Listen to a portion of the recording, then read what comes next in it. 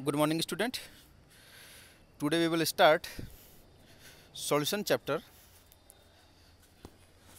And today's topic is colligative property. Colligative property. First we explain this. Those properties those properties which depends on the number of solute particles not the nature known as colligative properties. So those particles which depends on the number of solute particles.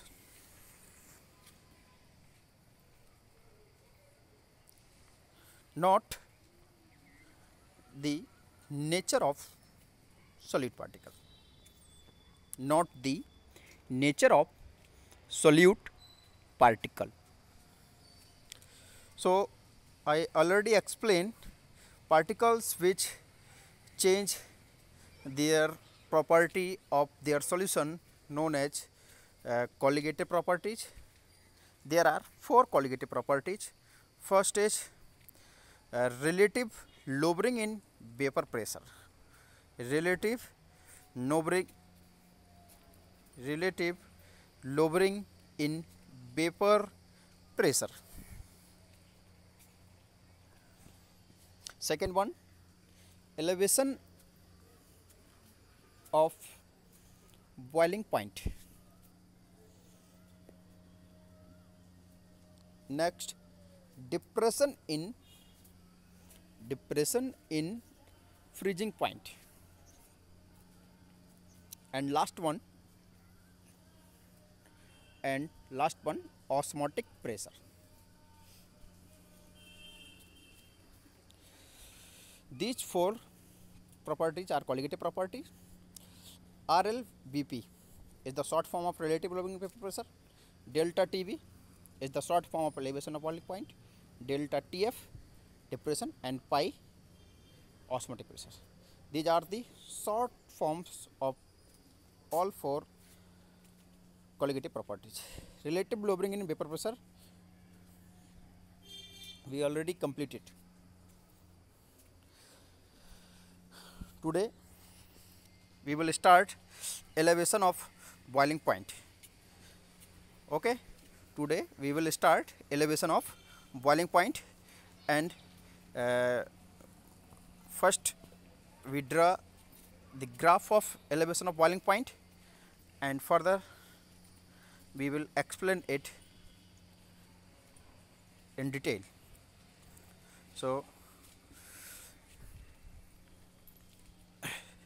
we remove all these notes from board and start the elevation of boiling point. We already discussed relative lowering in vapor pressure in previous lectures. ठीक है? तो basically आज हम लोग elevation of boiling points को graphic से graph से relate करते हुए ड्राइव करेंगे। ठीक है? तो हमारा टॉपिक है आज का elevation of boiling point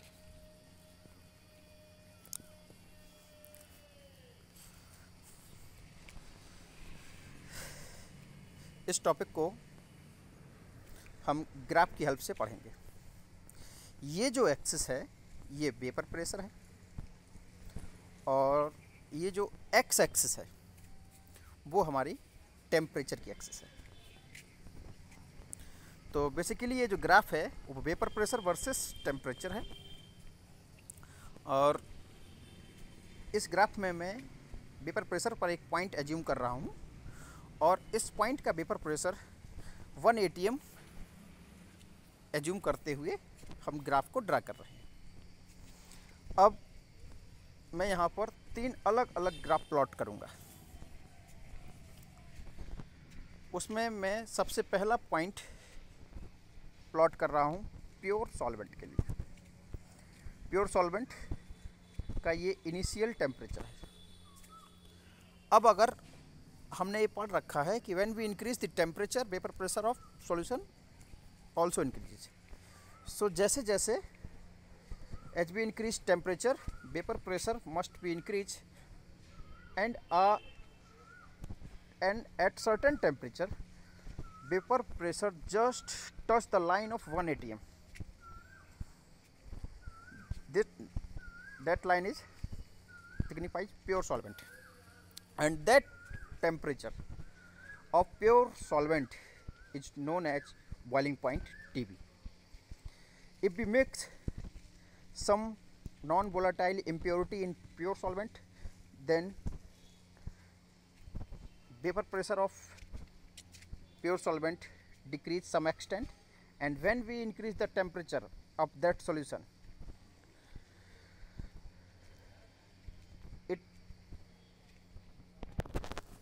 gets some increase in temperature and now boiling point becomes T1.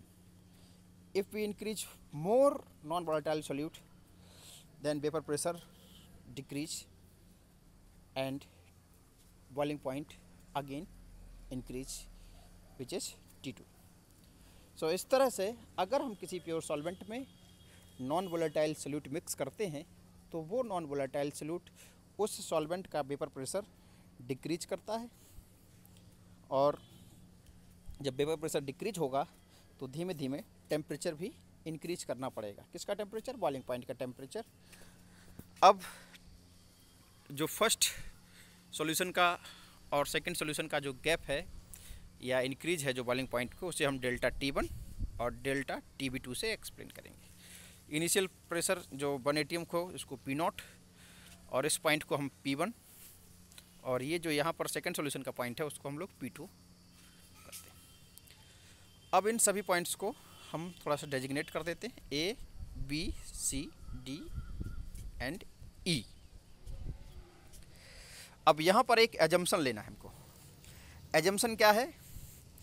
Assumption ये है कि ये जो लाइन है आपकी बी डी और लाइन सी ई ये हल्का सा कर्व्ड है। इनको हम स्ट्रेट लाइन लेंगे। Suppose line B D and line C E line B D और line C E are straight lines if these lines are straight then triangle A B C sorry triangle ABD and triangle ACE both are similar triangles. Okay. If BD or CE are straight then ABD and ACE both are similar triangle. We already know similar triangles have same ratio of same sides. So AD so AD upon AE equal to AB upon AC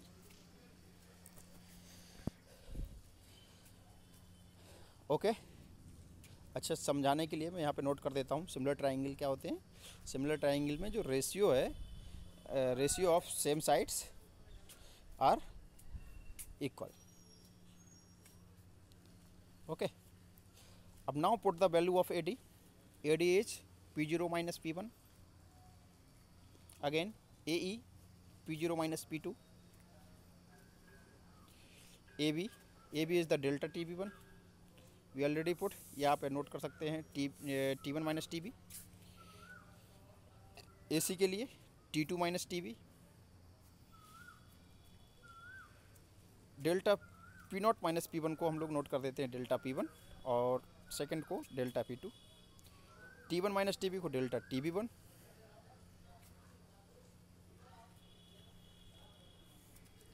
और delta T B two. इस relation को देखते हुए हम ये कह सकते हैं कि यहाँ पर जो डेल्टा पी है, वो डेल्टा टी बी के डायरेक्टली प्रोपोर्शनल है। क्योंकि पी वन, टी वन के इक्वल आ रहा है, T two P two T V two के कॉम्प्लीमेंट्री है। तो इस तरह से डेल्टा पी जो आपका हो गया, वो डेल्टा टी वी के डायरेक्टली प्रोपोर्शनल हो गया। ये हमारी इक्वेशन फ़र्स्ट है अब हम यहाँ पर थोड़ा सा राउल्ट्स लॉ को फिर से यूज़ करेंगे। आप याद करिए, वो हम रिलेटिव रोबरिंग वाले एक्सप्रेशन को यूज़ करेंगे। तो according to Raoult's law according to Raoult's law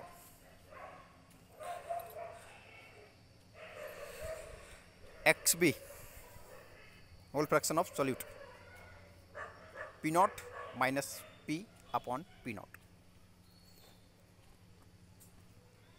X B is the mole fraction of solute particles so we already know mole fraction of solute is equal to moles of solute upon total moles of solution N A plus N B P naught minus P को हम delta P note कर सकते हैं। और यहाँ पर ये जो मोल्स ऑफ़ सल्यूट है we already know this Raoult's law is applicable for dilute solutions so be neglect so be neglect the moles of solute from denominator if we neglect the moles of denominator because it is negligible because its amount in solution is negligible. So equation becomes so equation becomes NB upon Na equal to delta P upon P naught. And now uh, we already know the mole is calculated by the help of weight upon molecular mass. So, we will put NB and Na in the form of W upon M. W is weight and M is the molecular mass. V is used for solute and A is used for solvent. NB is the moles of solute which is equal to W upon MB and Na is W upon Ma. So, this becomes enlarged in form of W and MB.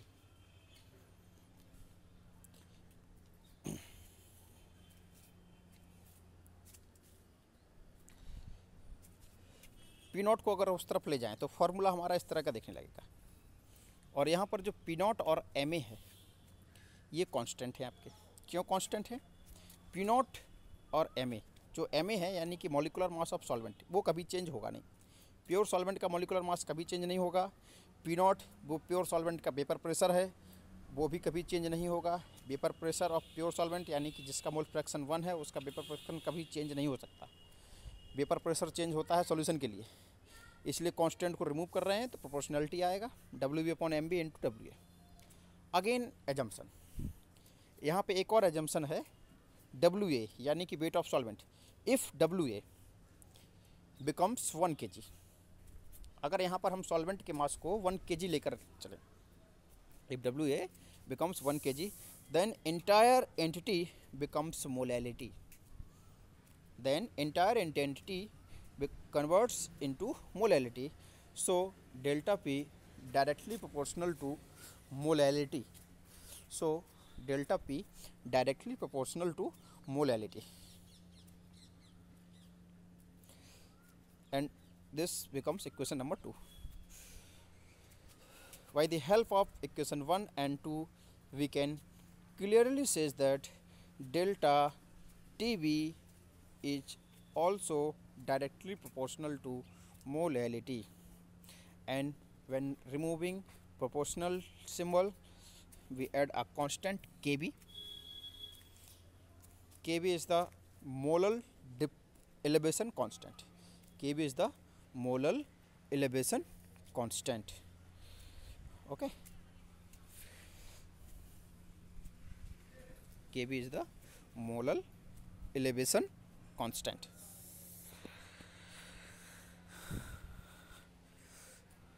This all over the derivation of elevation of boiling point.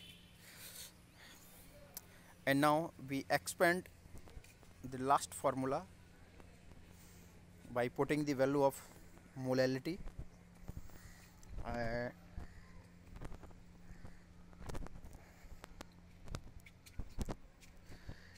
the equation becomes delta TB equal to KB molar elevation constant into WB and upon